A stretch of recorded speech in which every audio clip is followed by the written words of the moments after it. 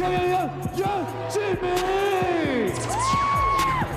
在内线，那另外在后场呢，则有林书伟、简佑哲，再来搭配的是士官长。我聊到的就是说，在上一场比赛帮助球队拿下连胜，而且飙了四十六分的可惜哦。国王队这里，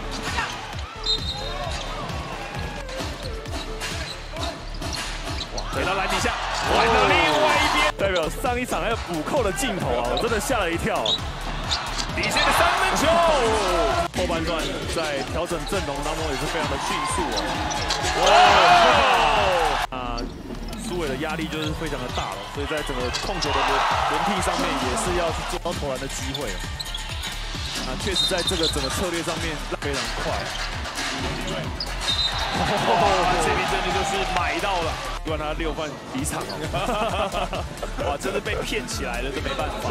领航员呢，他们赢了比赛，不过杨建敏呢也写下了在问题，还好没没有比太久，是也是没有问题。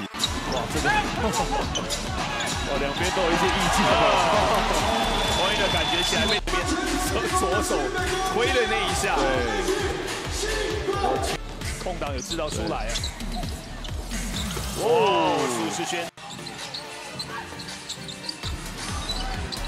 外围，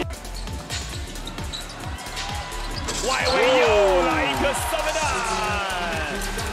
理事长连续发炮。他今年的投篮命中率这么好啊，其实可以多投。哇，这个人投起来就很有信心了。曼尼高去协防之后，又找到这个三分的空档。罚！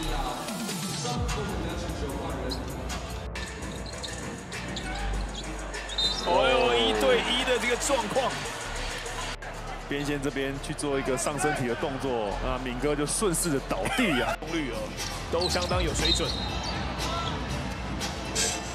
在 Plus League 看到这么多更好的选手哦，一起来在这里打球，这就是要让总教练去思考的一个地方哦。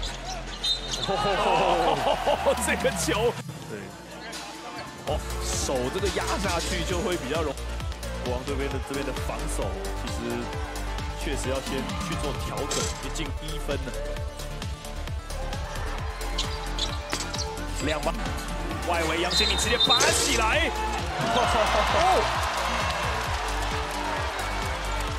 前还是出手后的犯规，这个就是要裁判去认定。啊，Q 是一下，这个球确实是算，算是时好时坏。对对，有时候蛮。